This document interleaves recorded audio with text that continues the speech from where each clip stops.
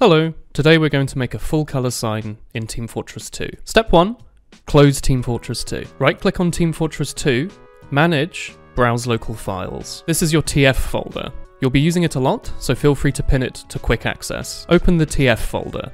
Open the custom folder.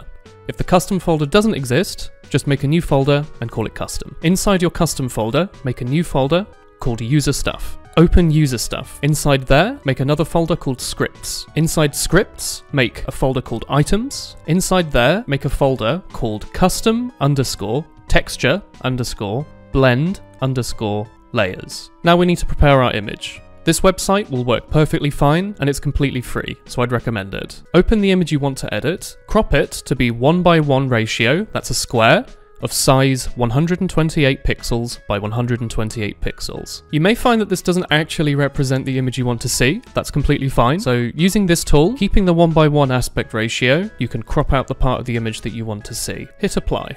Click on Layout and Template to the left, it's the third option from the top. Select Resize Page, Scale.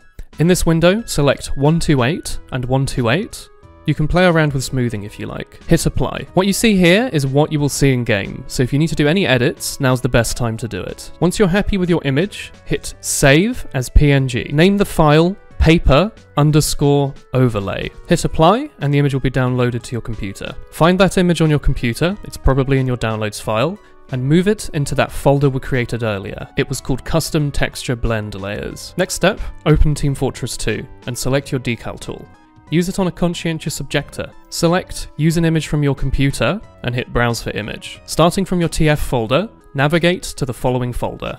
TF, Custom, User Stuff, Scripts, Items, Custom Texture Blend Layers, and select paperoverlay.png. Do not pick the paper overlay that you downloaded earlier, specifically pick the one that you placed into custom texture blend layers. This is important. You'll see it in full color in this window.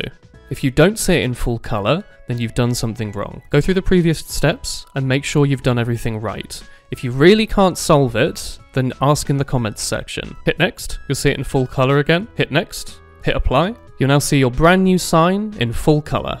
Feel free to equip it and run around in servers showing off your cool sign. If this worked for you, please let me know. I hope you all have a lovely day. See you soon.